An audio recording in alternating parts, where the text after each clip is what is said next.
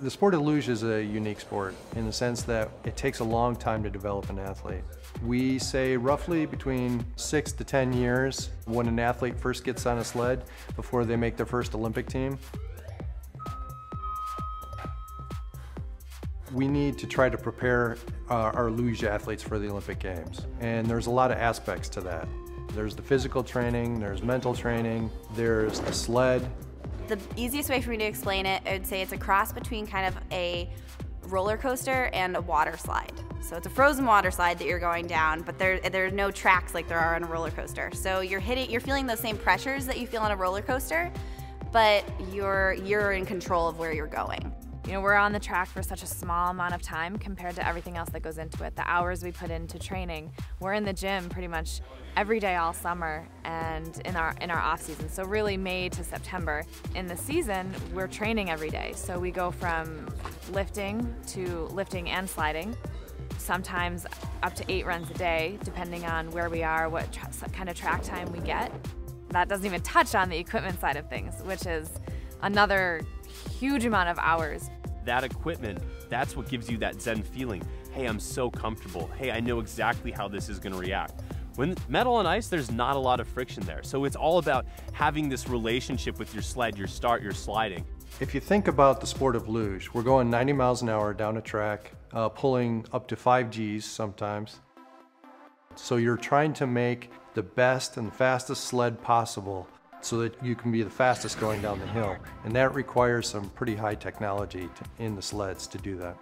We're building our sleds from scratch. We have to build the runners, the actual steel that runs on the ice. We have to create those pieces. We have to create um, each little piece that goes into the sled. We're working on our sleds for hours. In the last 30 hours, I've probably been in the sled shop for 15 or 16 of those. And it is about that setup, that magical setup where the sled feels good, it reacts how you want it to react. You're comfortable, you're confident. Luge is a very tough thing to explain to someone who's never tried it before. It's such a cool feeling, a cool phenomenon that it's it's very personal to each slider. I've spent a lot of time trying to put it into words what it feels like, so I'll give it my best shot here. So you're at like a level 10 and you know, you're, you're really going for it. It's just raw strength and power. But then the second you lay down, you really need to dial that back down to like a level three. You need to be relaxed on the sled. Your whole body is, uh, it's a shock absorber for the sled. So you, you really let the track speed up. You're trying to put yourself into that aerodynamic position. You're pointing your toes as hard as you can. You're putting your head back to the point where you really can't see the run anymore. So you're trying to go off feel as you go up on these corners. The G-forces are pushing on your head. They're pushing on your body. It's getting harder and harder to breathe.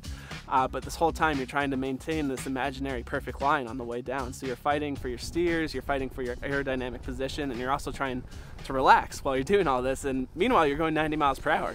Luge is a very technology-based sport, and it's it's always changing. Uh, year to year, the technology is advancing, and it's been really amazing to watch the past couple years. Our staff, um, working with our sponsors, working with Norton, to make sure that we're on the cutting edge and we're doing everything we need to be to be getting on that podium. When I was an athlete, I won races by a thousandth of a second, lost races by a thousandth of a second, and tied races to a thousandth of a second. It's in the steels where you're going to find the the thousandths, the hundredths, the tenths of a second that you need for the athletes to win a race. There's a lot that goes into the runners, there's a lot that goes into the aerodynamics of the shell. Um, so for us, we uh, teamed up with Norton Saint-Gobain. They donated some of their smart minds to us to help us with our engineering. They helped us with our steels, our metallurgy. They help us with sanding the runners. They help us with the shape of the runners. They help us with pretty much anything and everything with the runners and the sled in general. So that technology allows us to be the best in the world. When we're fighting for thousands, we're able to get tenths on other countries. Norton has been such a huge factor ever since I've been in the sport. Having so many people from Norton that are so passionate about helping us, it's been so much fun over the years to kind of see how it's evolved and how our equipment has evolved and how much faster we're going now. More than just being a financial sponsor, we thought it would be great if we took our expertise of our engineers and our employees um, and helped them improve their performance. And our engineers started working with the, the luge team, figuring out what the problems they were having. And then we would come up with solutions for that. And, uh, and that's kind of natural for us. That's what we do with our customers every day. We're in their plants looking at their problems, understanding their challenges, and then we deliver solutions. And so we just took that same thing that we do every day working with our customers and we took that to the luge team. After I won my medal in 2014, I was able to bring it home and share it with a lot of Norton employees at Watervliet, and it was so much fun. Everyone was obviously very excited. They've followed my career closely and paid attention to the whole team at the Olympics, and it's been one of the greatest things um, throughout my whole career is being able to celebrate success with everyone who helps us achieve it. So it was really fun and it's so interesting. I'm a little bit of a science nerd, so it's super interesting for me to see a lot of the processes that go into the equipment that we use. So not only I think were they excited to see my medal, I was kind of excited to see a lot of the other stuff that they do. The people of Norton are incredible. We had so many people come out to the World Cup last year and it was awesome. It was so fun. Everyone was having a great time.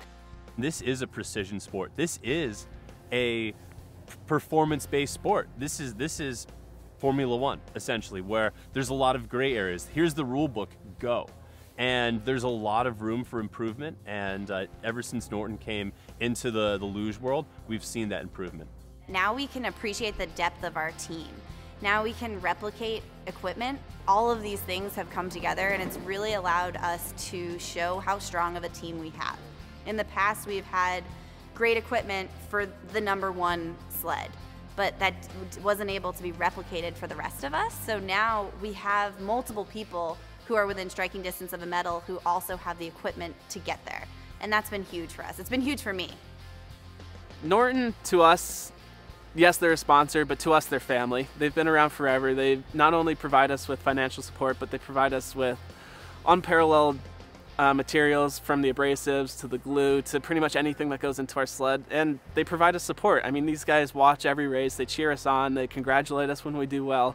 So this isn't really just something where money changes hands and they maybe get support from it. This is really, we've become a family. They, they're behind us, they support us, and we support them. So this is, it's so much more than a sponsorship. And we thank Norton every day for that.